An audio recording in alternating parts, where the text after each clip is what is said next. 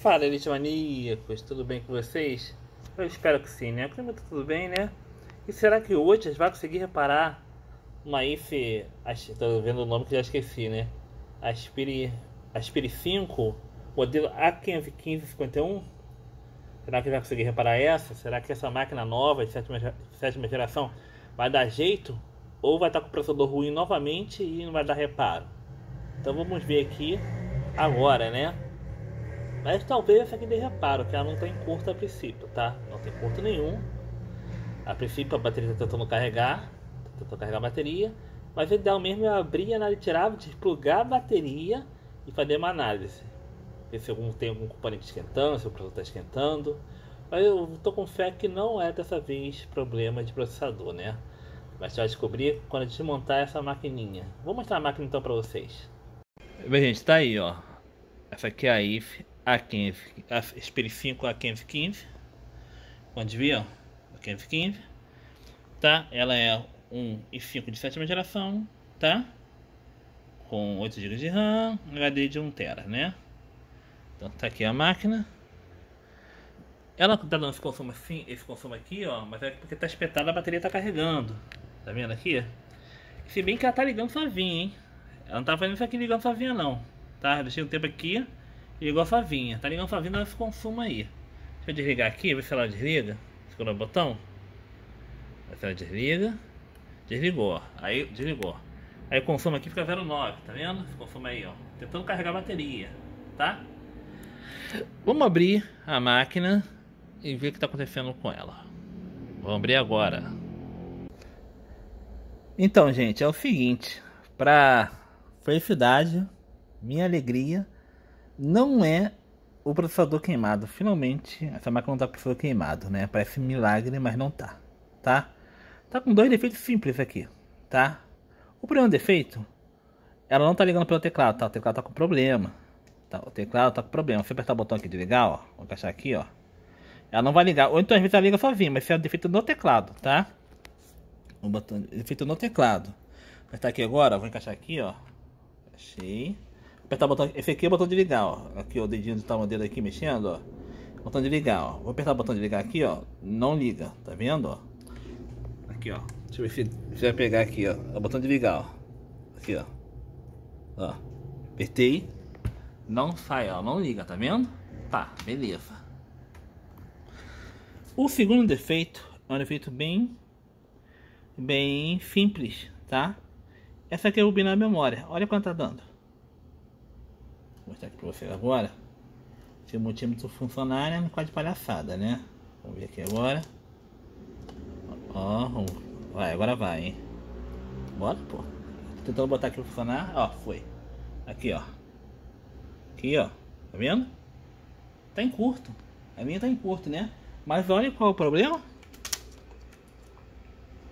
Vou tirar aqui, ó. O problema tá na memória. Essa memória aqui tá em curto. Tentando tirar com uma mão é complicadíssimo. Saiu. Vamos medir de novo? Ó. 226, né? Essa placa aqui tem um memória on-board 4GB, 4GB on-board na, na parte traseira da placa, tá? Agora, se queimasse o circuito de memória queimasse a memória on-board, já era. Porque achar chip igualzinho é difícil pra caramba, tá? Beleza. Por isso que eu não gosto de nada on-board, tá? Mas mesmo como essa aqui tem, vamos ligar aqui. Vamos ligar. Eu vou dar um pause e mostrar a máquina funcionando, porque eu não vou conseguir ligar. Se tirar essa aqui, né? Senão não adianta. Esse é o teclado. E tem que. Agora tem que fazer. Fechar o contato aqui, os terminais com Deixa eu ver se ela liga assim. Ligou, ó. Ó, liguei. Liguei na mão e consegui ligar, ó. Ó, aqui, ó. Ligou. Tá vendo aqui? Vamos ver agora dar a imagem. A imagem aí já, ó. Consegui ligar na mão, hein? Só encostando o dedo, hein? Aí, viu? E é isso. Efeito da máquina. Um pente de memória queimado. O teclado tem que ser trocado, né? Só que vai trocar isso aqui é o terceirizado, tá? Porque. Porque. É o seguinte, porque. Porque ele que vai trocar, tá? Porque ele não vai querer, só for cobrar o preço do, do, do teclado aqui, ele não vai querer não. Ele vai falar que prefere trocar. Tá? Então ele vai trocar o teclado. E a memória. Ele arruma outra, outro pente de memória lá. O defeito da máquina foi resolvido, tá? Então, na verdade, eu vou até finalizar o vídeo. Não faz sentido mostrar entrando no Windows, posso mostrar, entendeu? Mas é uma bobeira, né? Que a máquina não vai ter defeito. Mas eu vou acabar mostrando para dizer que eu sempre faço isso, né? Vou acabar mostrando para vocês. É, entrou no Windows, né? Pode ser que, ah, você não fez o teste direito, tá? Vamos lá, vamos fazer esse teste então. Finalizar o vídeo. Bem, gente, tá aí, ó. O HD dele tá com o sistema corrompido, mas o HD dele tá bom, tá? É... Botei o HD. Funcionando perfeitamente bem, tá? Tá aí, ó. Tá carregando ainda, né? Aí, tá falando direitinho. Só liberar e correr para abraço, tá? Tá semi-aberto ainda, a parte de baixo não tá, tá? Porque eu vou ter que botar o HD, meu HD, o HD dele de volta. A bateria. Mas tudo tá funcionando que gente tinha testado antes. Tá? Defeito é teclado. Teclado e memória queimada offboard. Deu sorte. Podia ser onboard, né? Por isso que eu falo que é importante, é bom ter máquina, ter memória offboard total, né? Mas tá ficando cada vez mais raro isso, tá? Essa máquina tem M2 também. Isso é muito bom. Você pode botar um HD e um M2. Né? E ficar com o HD, o HD mecânico como secundário, né? Então é isso, gente. Eu já desliguei a máquina, tá desligando aqui, tá? Então é isso. Vai desligar aqui.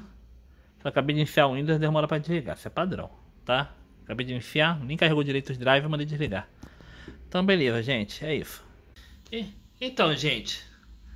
A, a EFF5 é, a 1551 teve final feliz, né? Defeito, a memória é ruim, né? Eu esqueço o modelo.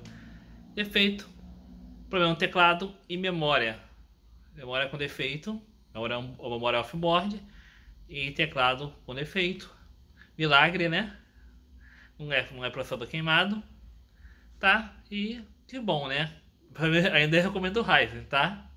Eu peguei um Ryzen ainda aqui comigo. O dia que eu pegar um Ryzen aqui, vou fazer, vou fazer uma festa, né?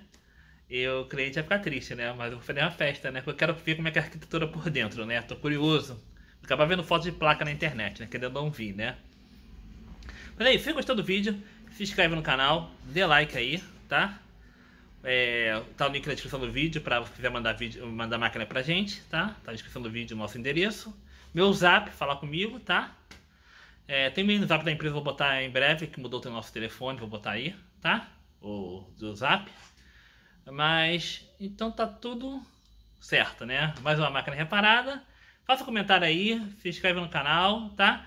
Nem todo defeito tem que ser difícil, já falou isso. Tem defeitos que são fáceis, rápidos de resolver, como esse aqui, tá? O que eu terceirizado é para trocar o teclado, não sou eu. Se quiser pagar, a gente troca. Eu volto até mostrando troca, mostro até o vídeo da troca do teclado. Mas a princípio não, tá? Então é isso aí, gente. Muito obrigado. Vamos pro próximo vídeo, vamos para a próxima máquina. E fui.